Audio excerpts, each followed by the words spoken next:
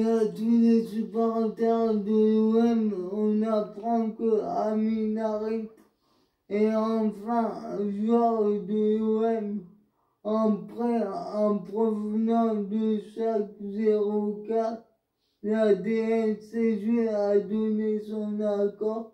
On apprend aussi que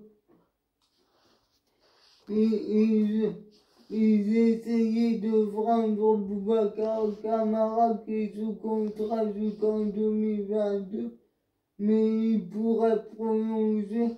Quant à Douillet Dakar, il, il avait des touches en, Angleterre du côté de Wolverhampton, mais il n'a pas, voulu partir, il est sous contrat du camp 2023. Rappelons que l'OM n'avait pas voulu le laisser partir à Liverpool l'année dernière. Quant à Bellardi, Alvaro González et Panirola, ils ont accepté de baisser leur salaire pour que Aminari soit un joueur de l'OM et Aminarit a consenti une baisse de ses émoluments, tandis que chaque 04 prendra une partie de son salaire. On apprend aussi que suite au, refus de départ de Kaletakar, il pourra être envoyé en réserve alors qu'il a refusé des offres de West Ham, Wolverhampton et, et Valence. Mais sa femme ne voulait pas déménager car elle est enceinte.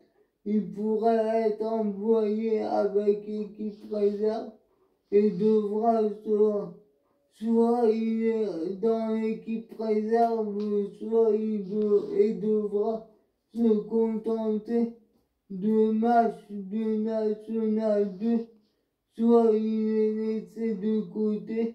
On apprend aussi que Boubacar Camara est surveillé par la Juventus. Rappelons qu'il est sous contrat jusqu'en 2022 et qui ne dit pas non pour prolonger au moins d'un an pour pas partir libre quant à Payet et Pablo Longoria, ils ont été invités par Macron.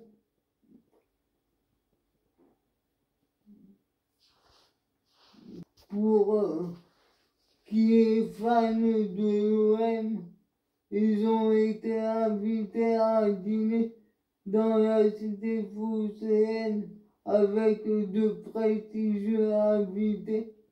Quant à Macron, il a fait une demande à Payet et Longoria. Il a déclaré ce n'est pas drôle d'aller au Stade de France sans, de sans voir l'OM. On apprend aussi que il a félicité Payet pour son essai en début de saison, mais aussi Pablo Longoria pour son rôle social dans la ville et, et dans la récente campagne de sensibilisation, sensibilisation à la vaccination du Covid, il a reçu un maillot de son équipe de, avec le numéro 10 de paillettes dans le dos. Il a déclaré J'accepte ce cadeau, mais je vais avoir des problèmes avec les autres clubs. Suivez-moi sur ma chaîne YouTube.